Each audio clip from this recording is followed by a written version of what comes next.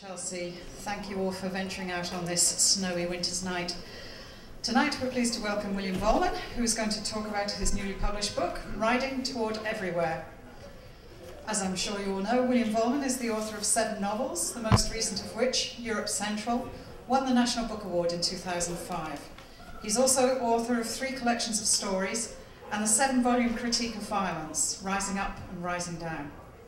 His last book, Poor People, has just been released in paperback. In Riding Toward Everywhere, the author travels across America, riding both regular trains and, wherever possible, hopping freight trains with a friend called Brian and another named Steve Jones, to whom the book is dedicated. Before my voice pegs out, please join me in welcoming William Vollmann.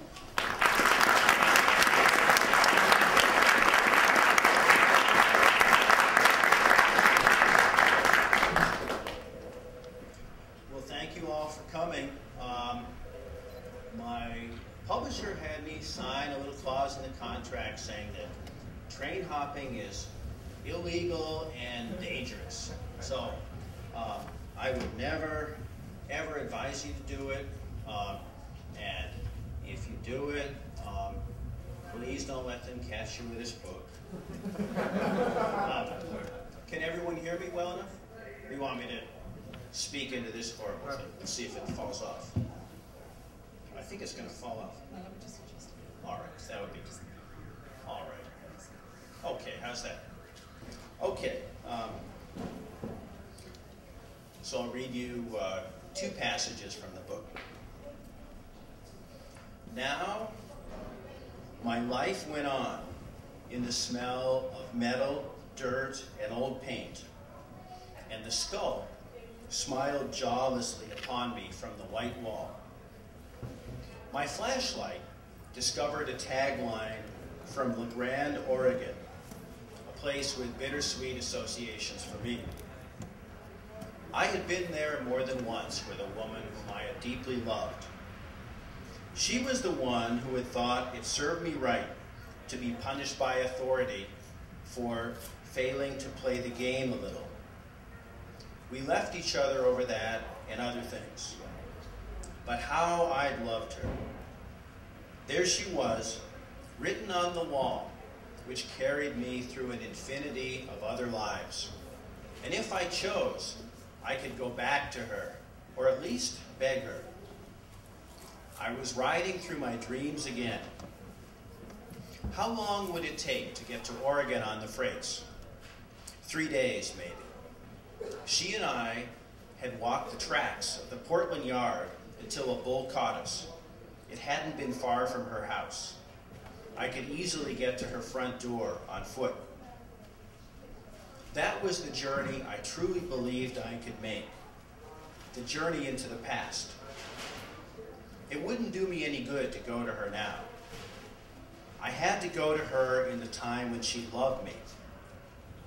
But I could, because riding the rails is time travel. Dark and lovely tree shadows raced across the long white gallery, and the shadows of my two comrades continually glided toward me, getting devoured by the pursuing shadow of the door frame. Then, all of a sudden, red signal luminescence rushed into the boxcar and flushed us with the blood of the entire world. Freight trains remind me of my father's tools and of those of both grandfathers, the one I've known and the one I hardly knew. Both were machinists. My father's tools are heavy. They are more metal than plastic.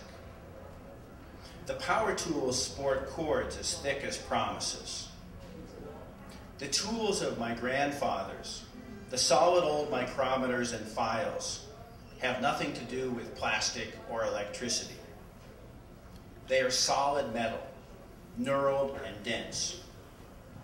As for my father's tools, they are poxed with rust. When I inspect them, I worry that I might have been a bad son. I took care of them as well as I knew how, but did I fail, or would even the canniest garage warrior have been defeated by now by time? While writing this essay, I finally threw away my father's power planer, whose rusty bed wobbled so dangerously when I fingered the switch that I feared it might whirl apart in my hands. When I ride the rails, I experience the same rusty shuddering of bare metal. I am going back to the time when my father's tools were new. Present realities fall away faster and faster. They cannot stop me any more than the flashlights of functionaries. Indeed, that night, the boxcar seemed to be speeding upward like a rocket under attack from anti rocket missiles. It roared at what felt to be an ever increasing velocity, took evasive action by shaking from side to side, and every now and then lurched horribly as if it had just been hit. Sometimes I would be awakened from a light doze by the boxcar's sudden slamming, as if there had been an accident.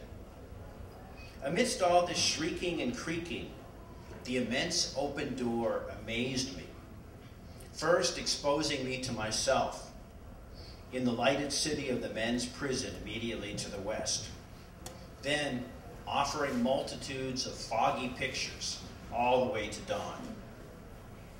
I felt as if every possibility were offering itself through the doorway without trickery.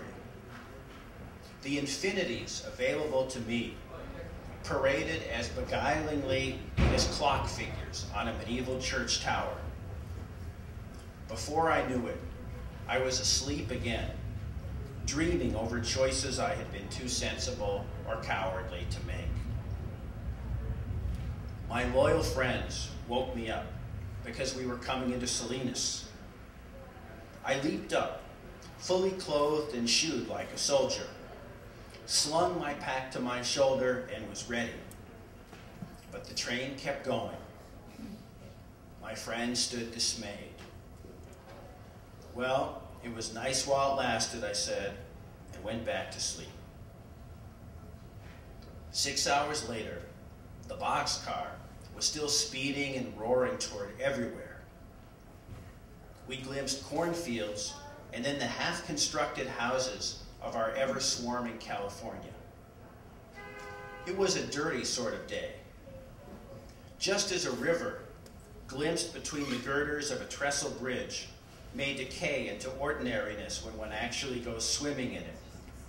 So a landscape, particularly one maimed by human beings, will often be reduced by light to the merest concatenation of stunted or even poisonous possibilities. Although the boxcar was still, objectively speaking, huge, now that all the obscene drawings could be glimpsed from one end to the other, our traveling gallery seemed to have shrunk. Its grimy, rusty floor had grown drearier, and even the fabulous rectangle of real life projected upon its open movie screen was less enchanting, in part because most California cities are ugly, in part because I had hardly slept, and surely in some measure because riding the rails, like any attempt to escape from life, must taste of failure every now and then, unless one is willing to die.